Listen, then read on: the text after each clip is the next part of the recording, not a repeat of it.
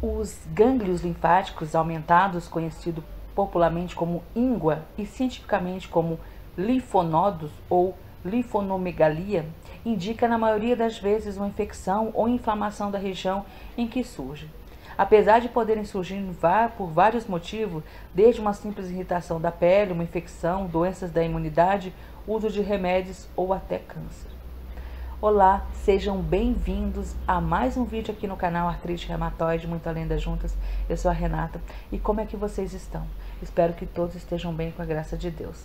Já comece com aquele like para me ajudar aqui no canal, se inscrevendo e seguindo todas as nossas redes sociais, inclusive participando lá do nosso grupo do WhatsApp, onde é só você clicar aqui embaixo e você participa de todos tá bom? Não se esqueça também de assistir o vídeo até o final, gente. Eu peço que vocês assistam até o final o vídeo, para que depois vocês comentem aí, compartilhem nas suas redes sociais os vídeos do canal, no canal, mostre para outras pessoas que também precisam saber do assunto, tá bom? E muito obrigado por estar sempre comigo aqui no canal, tá? Gente, a linfonomegalia, ela pode ser de dois tipos. Localizada quando os gânglios inflamados estão perto do local da infecção ou generalizada, quando se trata de uma doença ou infecção sistêmica e que dura também muito tempo. Os glândulos estão espalhados por todo o corpo, porque eles fazem parte do nosso sistema linfático, que é muito importante para o nosso sistema autoimune, já que ele acaba filtrando o nosso sangue e ajuda muito a eliminar micro-organismos maléficos, tá? Entretanto, quando estão aumentados, é muito comum que sejam muito visíveis ou até palpáveis em algumas regiões específicas, como a parte da virilha, das axilas e do pescoço. Geralmente, essas ínguas, elas costumam ter causas benignas e passageiras e costumam ter poucos milímetros de, de diâmetro, tá? Desaparecendo em pouco período, cerca de 3 a 30 dias. Porém, caso cresça mais do que 2,25 centímetros e dure mais do que 30 dias, ou seja, acompanhada por sintomas como perda de peso e febre, é importante consultar um médico ou até mesmo um infectologista para poder investigar essas possíveis causas e recomendação assim de um tratamento. A inflamação do glândulo pode acontecer devido a infecção aguda ou crônica, um tumor, uma doença autoimune ou que comprometa o nosso sistema imunológico, tá? Como na maioria das vezes é o caso aí do HIV. Mas o que causa o aumento dos gânglios linfáticos? A causa deles são diversas, tá? Deve-se lembrar que não existe aí uma regra única para sua identificação. Porém, em alguns, alguns casos, pode acontecer assim no pescoço nessa região cervical, mas é também localizada sobre a mandíbula, atrás da orelha e nuca, e geralmente ficam aumentados devido a alterações das vias respiratórias e da região da cabeça, como as infecções vias respiratórias, como faringite, resfriados, gripe, mononucleose, é, otites e gripes, conjuntivite, infecções da pele, como a foliculite de couro cabeludo, acne inflamada, também infecções da boca e dente, como herpes, cáries, gengivite, periodontite, infecções menos comuns como tuberculose, glaglionar, a toxoplasmose, doenças da arranhadura do gato, é, também, apesar de mais raras, também pode originar também esse tipo de, é, de alteração, tá? É, doenças autoimunes, como lúpus, por exemplo, e sistêmico, a própria artrite reumatoide, alguns tipos de câncer, como de cabeça e pescoço, linfoma, por exemplo, doenças sistêmicas de reações de medicamento também.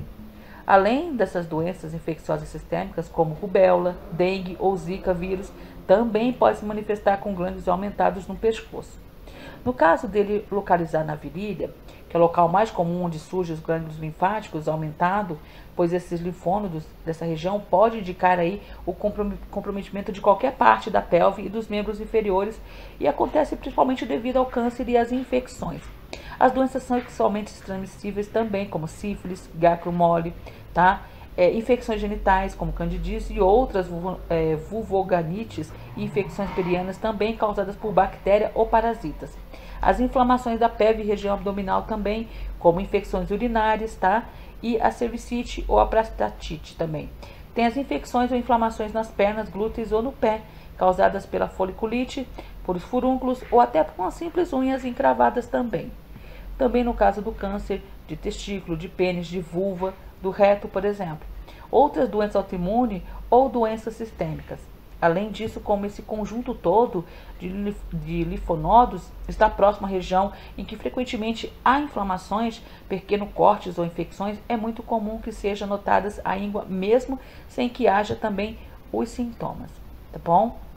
É, no caso da axila, eles são responsáveis pela drenagem, né? Então, toda a circulação linfática do braço, é, da parede torácica e da mama. Então, portanto, quando está aumentado, pode indicar a infecção de pele, como eu falei, da foliculite ou da piodermite, as infecções de prótese, no caso da mamária, e das doenças autoimunes.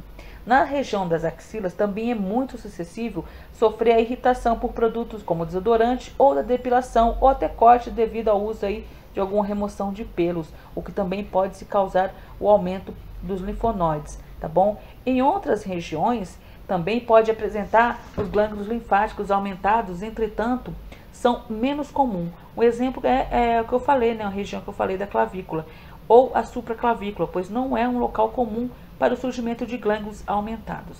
Já na região anterior do braço, pode indicar infecções do antebraço e mão ou doenças como linfoma, a sarcoidose, a tularemia e as sífilis secundárias. Em vários locais do corpo, algumas situações podem causar o aumento deles, em diversos locais, tanto nas regiões mais expostas como regiões mais profundas, como o abdômen ou o tórax. Isso costuma acontecer devido a doenças que causam comprometimento sistêmico ou generalizado, como HIV, a tuberculose, a monoclerose, a citomegalovírus, a leptospirose, sífilis, lúpus ou linfoma. Além desse uso certo de medicamentos como a fenitonia também, tá bom?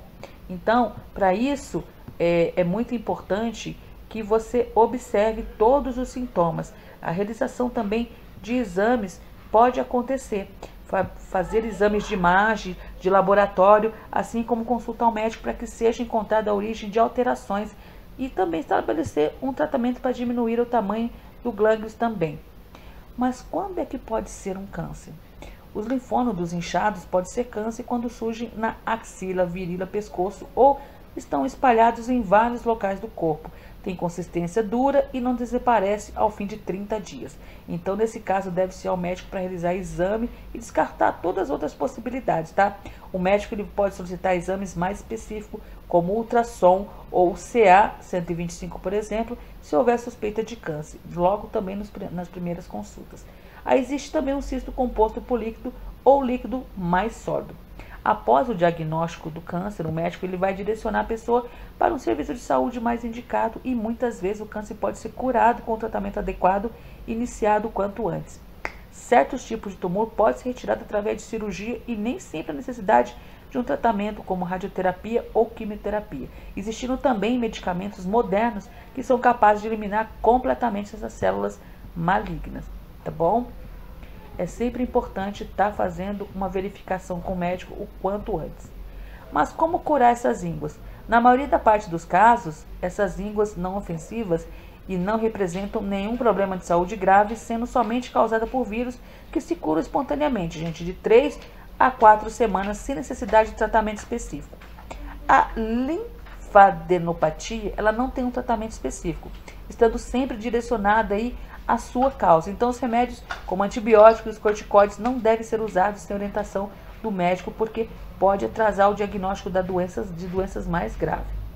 Mas quando é que eu posso procurar um médico então? Geralmente, os glândulos são caracterizados por ter uma consistência fibroelástica imóvel, que mede pouco milímetro e pode ser doloroso ou não. Porém, pode apresentar algumas alterações que indicam doenças preocupantes, como eu falei, linfoma, tuberculose, câncer, o ganglionar, né? Então, ó, lembrando, se medir mais que 2,5 centímetros e meio, ter consistência dura, aderir aos tecidos profundos e não se mover, persistir por mais de 30 dias, ser acompanhado de febre que não melhore uma semana, suor noturno, perda de peso ou mal-estar, ter localização a hipotroclerar, a supraclavicular ou espalhada por vários locais do corpo. Então, nessa situação, gente, deve procurar atendimento médico quanto antes, um infectologista, como eu falei, para que seja realizada a avaliação clínica, fazer os exames, tudo certinho, tá bom? Quando a dúvida persiste, é possível ainda ser solicitada a biópsia de glândulo, que irá demonstrar se tem a característica benigna ou maligna, além de que pode consultar um oncologista para que sejam avaliados os sinais e sintomas do glândulo linfático, tá bom, gente? Ó, espero muito que esse vídeo tenha ajudado, gente. Lembrando que não é para apavorar ninguém. É só um vídeo informativo. Lembrando que é só o médico que pode dar o diagnóstico certinho, tá bom? Um beijo no coração. Já deixou o seu like? Obrigada. Obrigado por se inscrever. E obrigado por fazer parte aqui do Artrite Reumatoide Muito Além das Juntas. Fiquem todos com Deus, gente. Um beijo no coração de todos. A gente se vê no próximo vídeo. Espero todos vocês lá. Tchau, tchau. Os gânglios